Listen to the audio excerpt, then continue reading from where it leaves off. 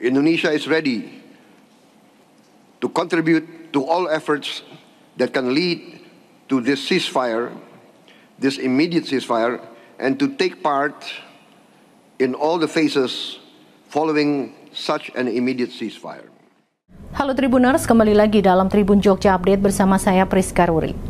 Presiden terpilih Republik Indonesia Prabowo Subianto menyerukan agar Israel dan Hamas menyepakati proposal gejatan senjata yang telah didukung resolusi Dewan Keamanan PBB.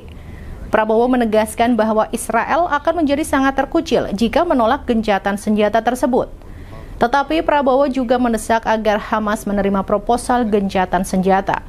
Hamas dilaporkan menyambut baik proposal gencatan senjata usulan Amerika Serikat tetapi meminta sejumlah amandemen. Prabowo di Istana Kepresidenan Jakarta pada Kamis 13 Juni mewakili Presiden Republik Indonesia Joko Widodo ke KTT darurat untuk Gaza di Aman Yordania pada Selasa 11 Juni lalu.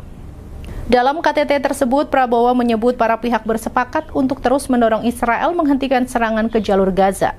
Menteri Pertahanan Republik Indonesia itu menyatakan bahwa salah satu cara untuk menekan Israel adalah menyampaikan berbagai opini dari berbagai kepala negara. Prabowo menjelaskan sebagai contoh sudah beberapa negara Eropa yang menyatakan mengakui Palestina dan juga di PBB mayoritas anggota sudah menyatakan mengakui Palestina dan meminta Palestina diterima sebagai anggota PBB. Otoritas Israel diketahui belum menanggapi secara resmi proposal gencatan senjata yang telah didukung Dewan Keamanan PBB tersebut. Namun, Menteri Luar Negeri Amerika Serikat Anthony Blinken mengklaim Israel akan menyetujuinya. Demikian berita terkini terkait Prabowo yang tegaskan bahwa Israel akan sangat terkucil jika menolak gencatan senjata. Ikuti terus berita-berita terkini hanya di Tribun Jogja Update. Saya Priska Ruri dan segenap kru yang bertugas pamit undur diri. Terima kasih dan sampai jumpa. Download Tribun X sekarang.